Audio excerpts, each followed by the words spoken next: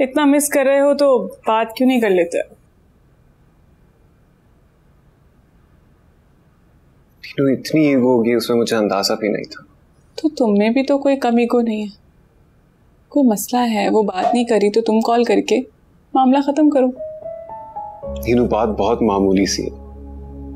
मगर मेरे सर पर हथौड़े की तरह बरस रही है। उसके सोचने के अंदाज ने मुझे उलझन में डाल रखा है। ऐसा क्या कहा है उसने? तुम मुझे बता भी नहीं रहे हो। और हो सकता है तुम्हारे पॉइंट ऑफ़ व्यू में गड़बड़ हो।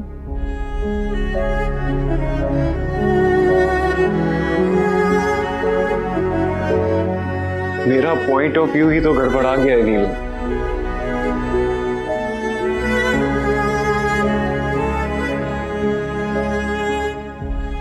क्या चल रहा है तुम्हारे दिमाग में? पता नहीं नीना